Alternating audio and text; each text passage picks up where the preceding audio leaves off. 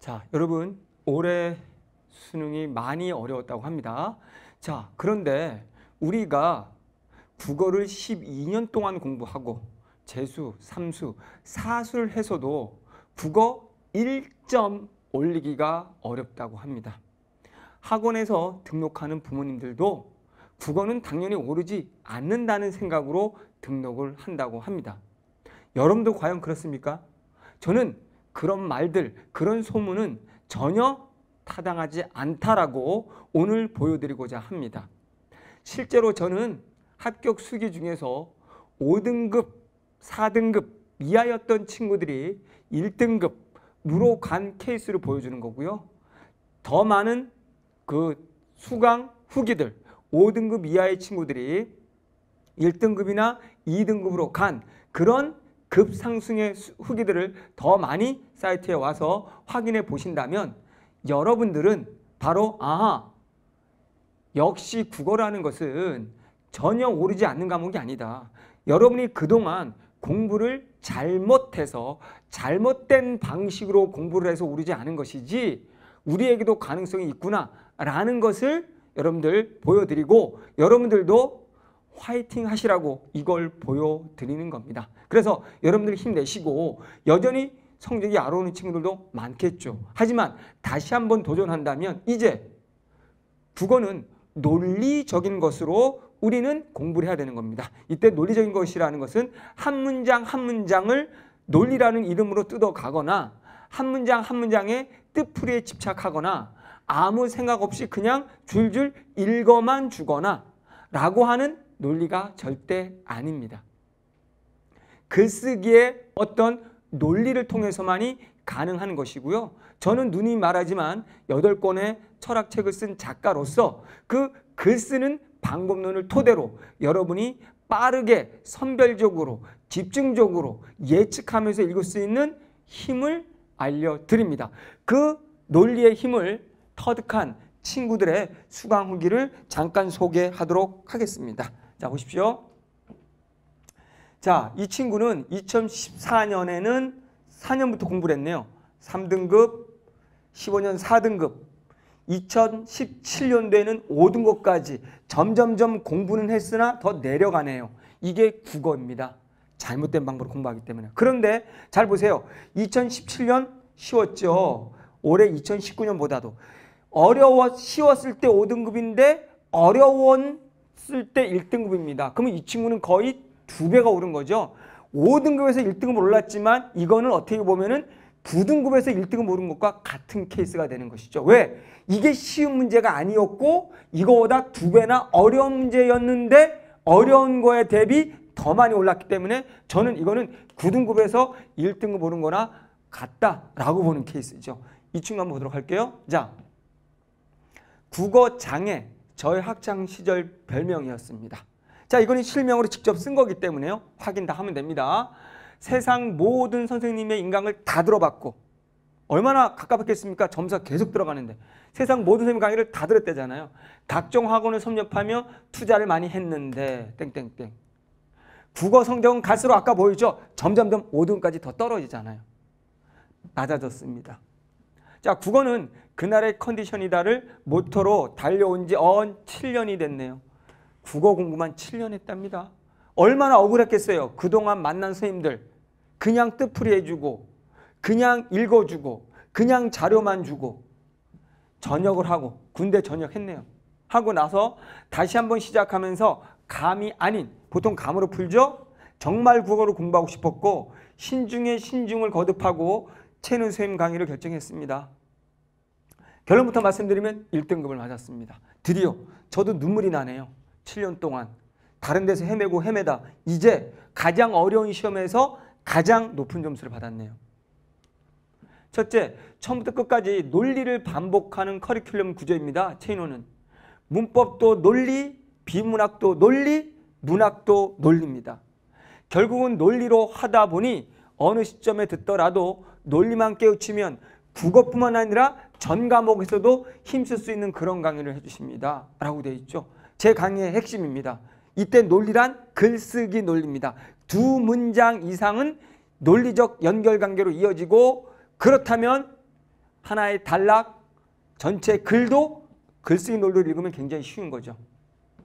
이제 봅니다. 자, 군 입대하기 전에는 3, 4등급, 4등급이었겠죠. 자, 오늘의 포인트는 4등급, 5등급 친구들이 1등급으로 간 겁니다. 훨씬 많습니다. 수강평이 5등급 이하 친구들이 잘 보시고 힘을 내시기 바랍니다. 다시 도전한 수능 1등급입니다. 안녕하세요. 고3 시절부터 국어는 3, 4등급을 받던 장수생입니다. 본래 다니던 학교에서 졸업을 하면 무엇 하나라는 생각에 늦은 나이에 다시 공부를 시작했습니다. 그리고 역시나 매번 모의고사를 보면 국어는 3, 4등급을 유지했습니다. 특히 6월, 9월 평가한 모의고사 때까지도 3등급에서 오르지 않았습니다.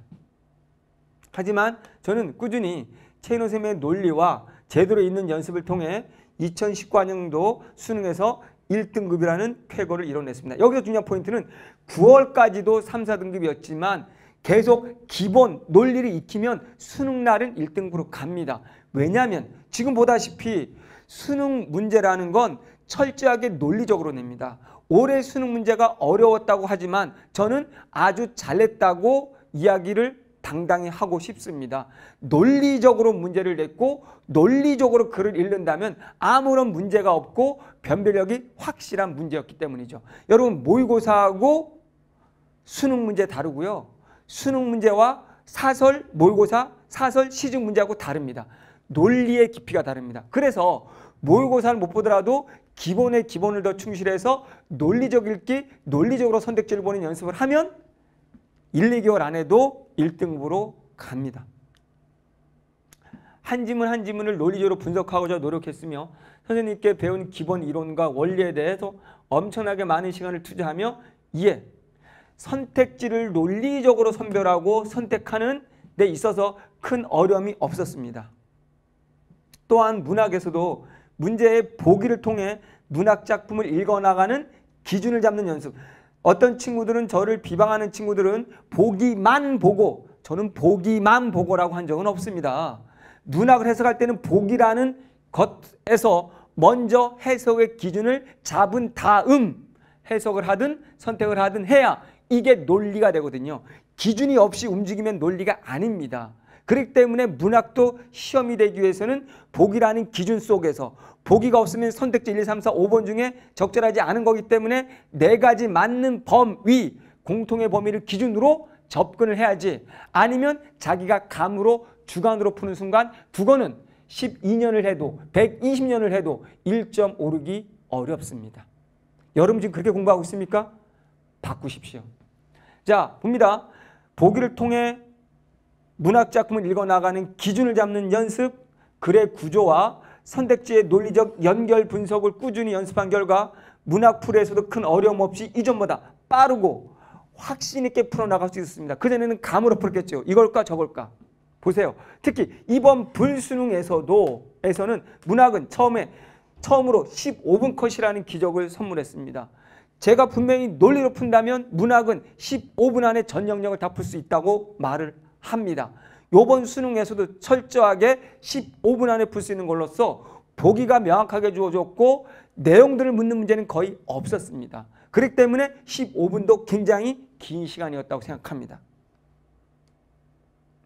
자, 요번에는 고3 수능 때는 3등급이었네요. 재술에서 1등급이 나왔네요. 재술에서 1점 오르기도 어렵습니다. 떨어지지 않으면 다행이죠. 중요한 포인트는 이번에 포인트는 영어는 공짜로 1등급입니다. 제가 작년에 영어 빈칸 출원, 주제 찾기 등등을 캐스트로 많이 올려놨습니다. 제 현장 수업을 듣는 친구들은 그 캐스트로 주로 영어로 공부를 많이 했고 현장에서는 6월, 9월 우리 무료 영어 공개 특강도 열었습니다. 그래서 그 계기로 하루 30분, 3시간으로 1등으로 오른 친구들이 굉장히 많거든요. 잘 보시기 바랍니다. 왜 그러면 제 수업 듣는 친구들은 제 비문학 논리로 영어 공부를 하는가? 자, 요번에도 영어 오답률 높은 빈칸 추론 1위 문제 올려놨으니까 보도록 하십시오. 최선생과 공부하면서 느낀 점은 고3 시절처럼 EBS를 하나하나 암기할 필요가 없던 거예요. 자, 많은 선생님들이 EBS 뜻풀이 밑줄 치고 암기시키죠. 대다수가 그렇죠. 그러나 저는 암기시키지 않습니다. EBS 자체를 보기를 보고 그걸 기준으로 스스로 빠르게 해석하는 연습용이지 그게 나올 거라는 생각으로 가르치는 건 아닙니다. 저는 출제자도 아니고 제가 찍는 도사도 아니거든요. 혼자서 어떤 기준에서도 풀 수 있는 연습, 그 힘을 키워줄 뿐입니다. 본래 EBS는 작품의 핵심 정리, 뜻풀이 등 모든 것을 외우고 암기했어요.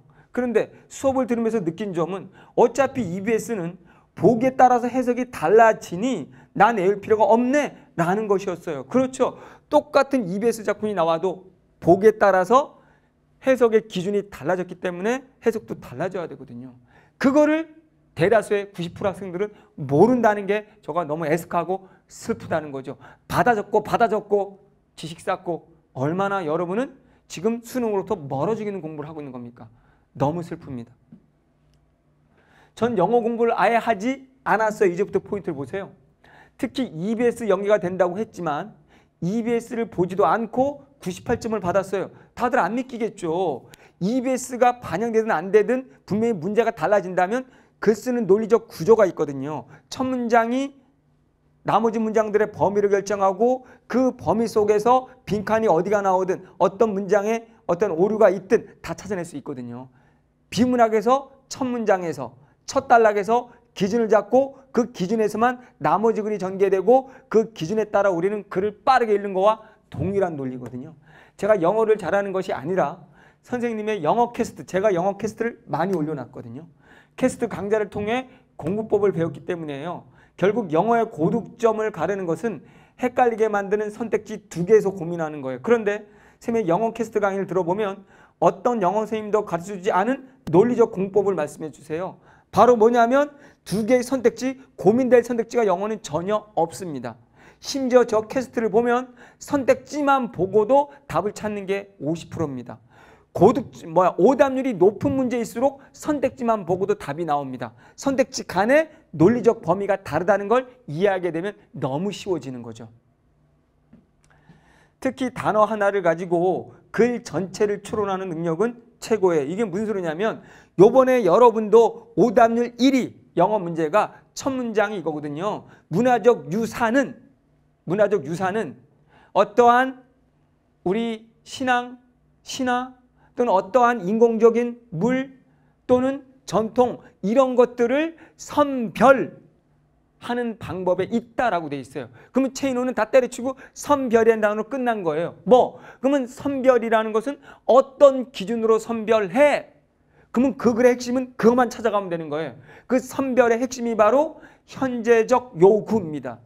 그러면 현재적 요구에 따라서 현재적 요구에 맞으면 선택, 선별되는 거고 현재적 요구에 따라서 맞지 않으면 선택되지 않는 거죠. 그러면 문화적 유산이란 현재적 요구에 따라서 선택된 것들은 우리에게 메모리, 리멤버 되는 것이고 선택되지 않는 것은 우리한테서 사라져가는 것이다. 제거되는 것이다. 이겁니다. 그러면 선별이라는 단어 속에는 벌써 두 가지가 있는 거야. 선택된 것과 아닌 것들을 가른다라는 말이 숨어 있는 거예요. 그러면 선택지 중에서 무엇과 무엇의 두 개의 관계, 정반대의 두 개의 관계가 나와 있는 건 선택지 그거밖에 없었어요. 바로 기억되는 것과 우리한테 지워지는 것, 사라지는 것. 답이 너무 쉬웠죠.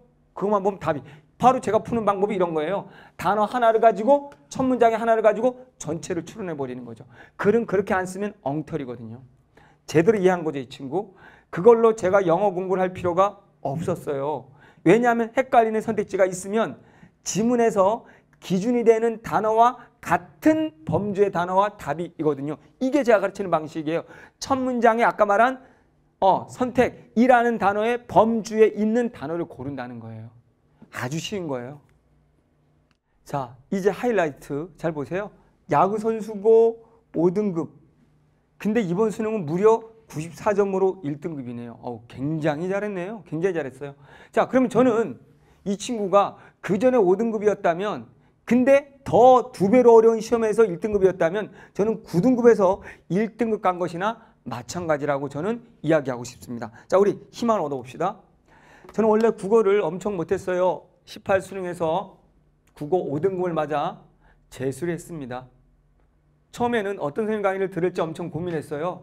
그래서 어느 정도 유명한 강사님들의 수업은 다 들어봤어요. 메가, D사, 이사 등등. 저는 국어 지문을 접근할 때 필요한 것은 주관적인 해석이 아닌 명확한 객관적 기준이 필수라고 생각했어요. 하지만 대부분의 강사분들은 비문학을 읽을 때 뾰족하게 읽을 수 있는 방법을 가르쳐 주지 않으셔서 도저히 어떻게 할지 몰랐어요 라는 거죠.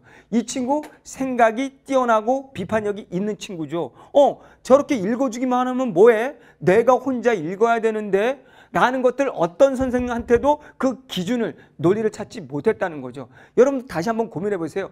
정리를 잘해 주는 것과 일일이 분석을 해 주는 것과 내가 스스로 읽게끔 해 주는 건 엄청난 차이입니다. 하늘과 땅 차이죠. 그것들을 발견해야 되고 여러분이 실제로 수능 날 여러분이 읽어야 됩니다. 낯선 지문을 알고 있는 지문도 아니고 그걸 생각하면 여러분들 공부 방법 분명히 달라져야 합니다. 그리고 문학도 대충 감으로 판단하는 식의 문제풀이도 상당히 싫었고 대부분 선생님들이 감으로 해석하고 본인의 느낌으로 해석하고 잡서에 나와 있는 뜻풀이를 앵무새처럼 읊고 있죠. 너무 슬프죠. 싫었고 올해 수능을 보시면 아시겠지만 이런 식으로 EBS 공부하시면 수능 가서 박살납니다. 올해 일동장류가에 보면 EBS에 실려있지 않은 다마록 나온 거 보셨죠? 스스로 해석하는 힘을 기르지 않고 이렇게 앵무새처럼 줄거리만 외우면 풀지 못하는 문제가 평권에서 등장하고 있습니다. 어떤 낯선 작품이 나오든 보기를 기준으로 풀 수 있는 힘을 키워야 된다는 거죠.